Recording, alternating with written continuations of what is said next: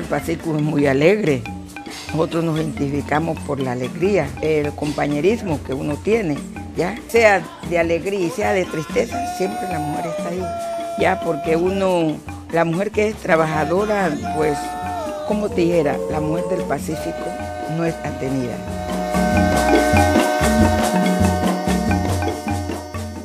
Una cantora es una sabedora, una mujer que posee, que guarda muchísima riqueza ancestral, es una guardiana de la tradición, es esa matrona, cuidadora, curandera, porque la función de las cantadoras no es únicamente cantar. Es una persona tal como soy yo, que nosotros yo canto juga, canto currulao y canto alabao.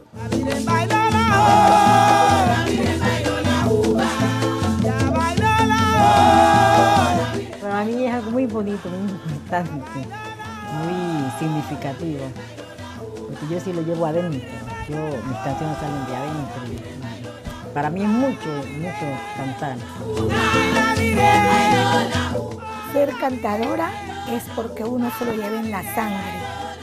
Uno escucha un bombo y vea, mejor dicho, ya se pones pila como a ver por dónde es que suena, dónde es que está.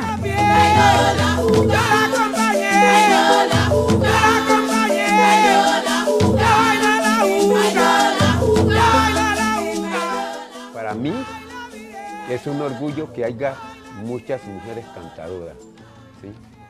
porque lo que se necesita es que la traición no se pierda, ¿cierto? Y que cada parte se vaya multiplicando.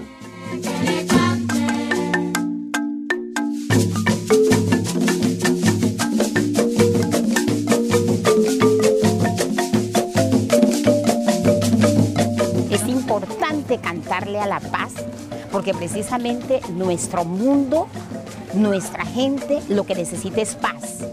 Y la paz tiene que estar en el corazón. Si está en el corazón, obviamente lo que yo vivo, lo que yo respiro, lo que yo canto va a ser paz. Y lo voy a transmitir a través del canto.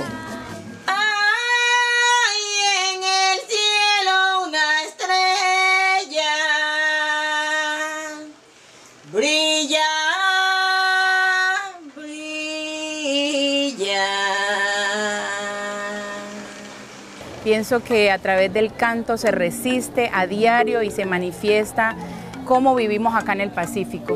Eso lo hacen las mujeres. Cómo las mujeres lloran a sus muertos en este tema del conflicto.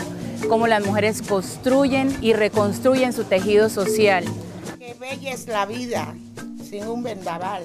Qué hermoso este evento con canciones tradicionales. Yo no canto con cuadernos ni con hoja de papel. Yo canto con mi memoria porque Dios me dio el saber. Desde Iscuandé navegando las aguas del litoral para llegar a este encuentro de música tradicional.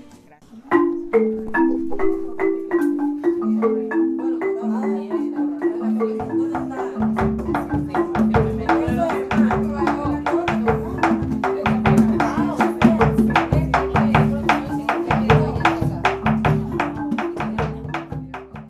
a pescar llevan una red y se va pegando el pescado ahí.